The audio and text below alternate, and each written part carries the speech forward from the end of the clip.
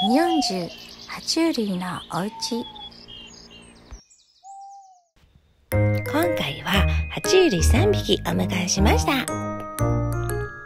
どんな爬虫類でしょうか？早速開けてみます。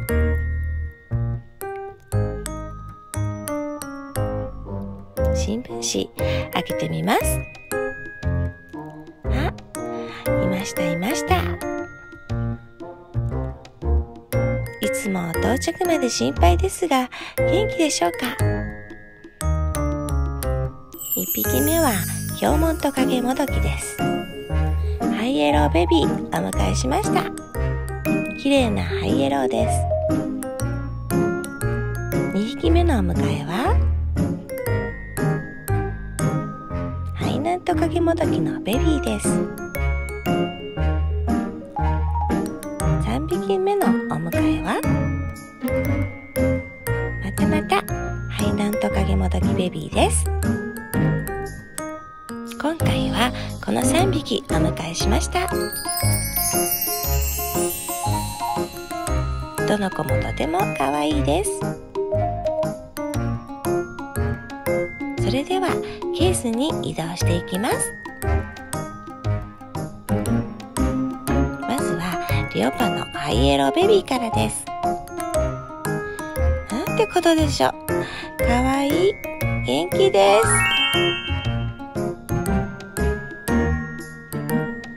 ここに入ってね。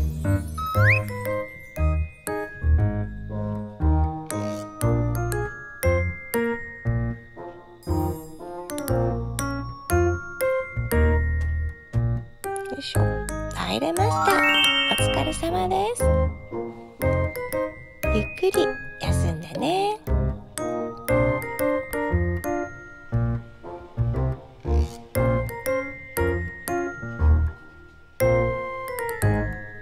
次は肺軟をケースに移動していきます。あ小さくてかわいい。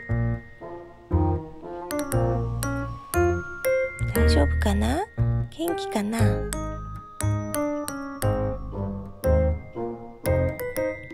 れ？おとなしすぎる。動かないぞ。初めての場所で緊張しているみたいです。ここに入ってね。ハイナンはとても好きな爬虫類の一つ。姿形がかっこよすぎて綺麗です。3匹目ケースに移動していきます。綺麗な顔しています。この子も緊張して固まってます。